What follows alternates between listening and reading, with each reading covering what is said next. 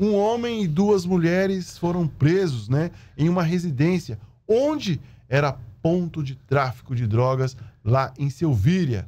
O Albert Silva conta os detalhes.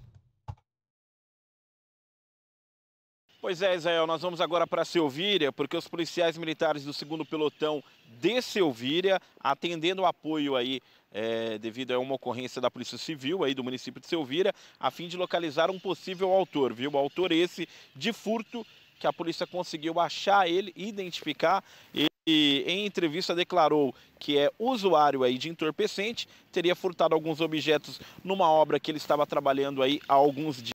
A polícia até viu até essa boca de fumo, né? Ele disse que teria alguns objetos, teria vendido aí para uma boca de fumo. A polícia foi até essa boca de fumo, viu? E teria realizado aí a troca de todos os bens que ele teria furtado pelo entorpecente, onde durante busca no imóvel a polícia localizou 21 trouxinhas da substância né, aparentando aí ser cocaína pesando 6,7 gramas, dois pedaços aparentemente da substância maconha, pesando 13 gramas, uma certa quantidade em dinheiro proveniente aí da mercância da droga, né? E o, os policiais encontraram também petrechos utilizados aí no preparo para venda aí desse entorpecente. Diante dos fatos também tinha uma mulher, viu, Israel? Uma mulher de 26 anos e outra de 23 anos, que era moradora dessa residência, receberam voz de prisão por tráfico de drogas e o homem, que tem 34 anos, também foi detido por furto e sendo todos apresentados aí